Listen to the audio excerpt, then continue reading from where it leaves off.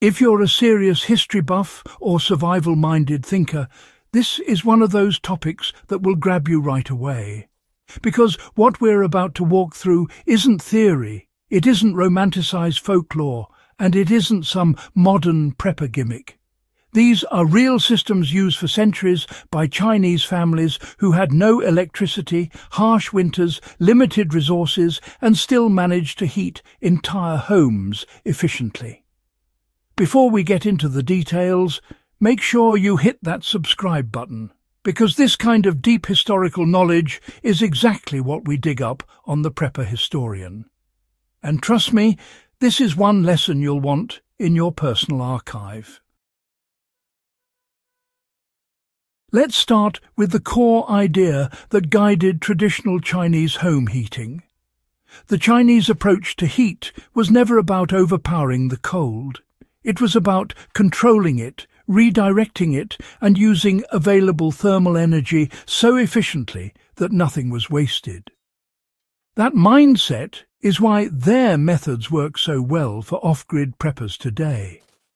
Instead of thinking in terms of heaters, they thought in terms of heat pathways, heat retention and heat storage. If you've ever studied old fortresses or long-haul trading routes, you'll recognize the same principle. Efficiency keeps people alive. One of the oldest and most famous systems is the Kang bed stove. If you're not familiar with it, a kang is a massive raised platform made of brick or clay, usually about the size of a bed. Underneath this platform runs a flue connected to the home's cooking stove or fire pit. When the family cooked meals, the heat travelled through channels under the kang before exiting the chimney. The bricks absorbed that heat slowly and released it through the night. So a single fire served two purposes, preparing food and providing radiant warmth for hours with zero additional fuel. You can apply this principle off-grid very easily. Build a cob or brick bench along a wall and run the exhaust of a small outdoor-safe rocket stove or internal masonry stove underneath it through a simple flue tunnel. Even a basic L-shaped channel can store surprising amounts of heat if you use thick masonry. Let it charge during cooking and you have a warm sleeping or sitting surface all night. This is real time-tested engineering, not a modern invention. Another key technique was controlling airflow and convection inside the home. Traditional Chinese homes weren't randomly built. Their orientation, layout and materials were chosen to trap heat where it mattered most. Thick walls made of rammed earth or brick acted as thermal batteries. Interior courtyards reduced wind tunnelling and created pockets of still air. Doors were aligned so cross drafts could be controlled rather than allowed to steal warmth.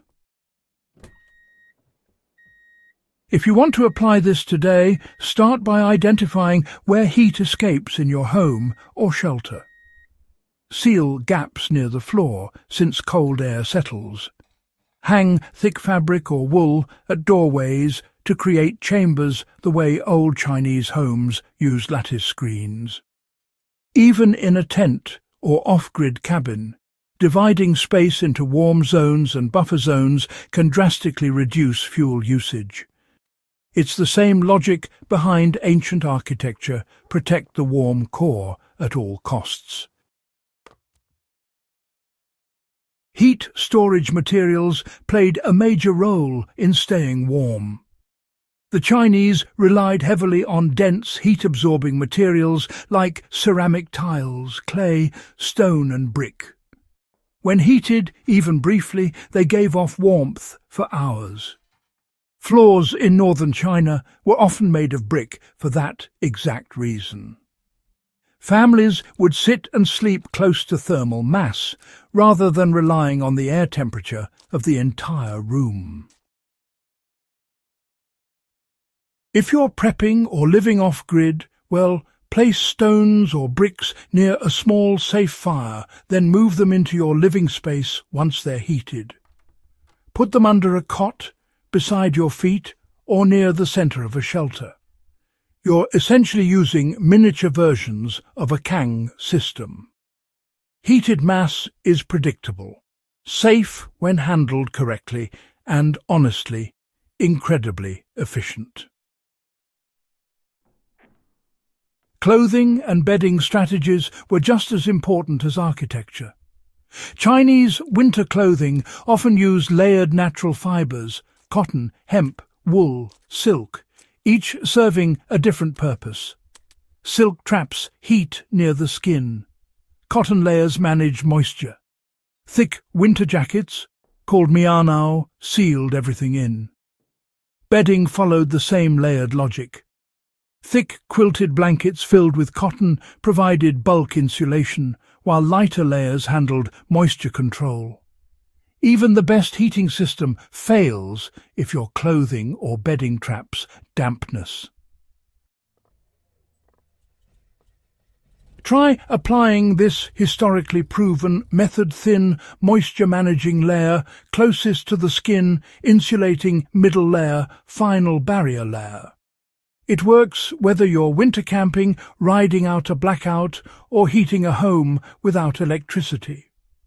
Fuel efficiency was treated like a science, not an afterthought. Most families didn't have endless wood supplies, so they burned crop stalks, reeds, straw-dried roots, and even compressed crop waste. They understood burn rates ventilation and how to stretch fuel by pre-drying everything and controlling airflow through stoves. Their stoves weren't open fireplaces bleeding heat into the sky, they were narrow, controlled burn chambers that channeled every calorie of heat into the kang, or cooking pot. In practical terms, this is where a modern rocket stove or propane-free burner shines. The principle is identical intense heat in a small space with high efficiency. Even something as simple as a clay chimney cap or a brick heat riser can double your burn efficiency because you're controlling oxygen intake the way they did. They also mastered the art of microheating rather than whole room heating. It wasn't about warming the entire house to a comfortable temperature.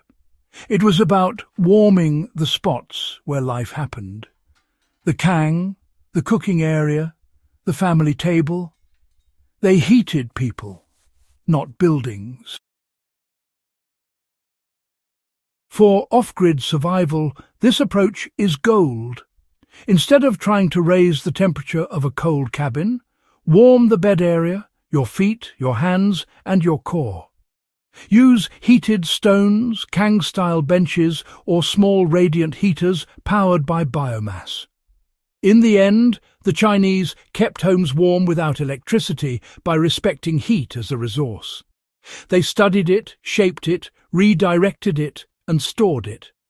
That's why these systems lasted thousands of years and remain some of the smartest heating solutions ever created. If you're a prepper, historian, or someone who simply values old-world knowledge, Mastering these systems gives you real skills you can apply in any grid-down scenario.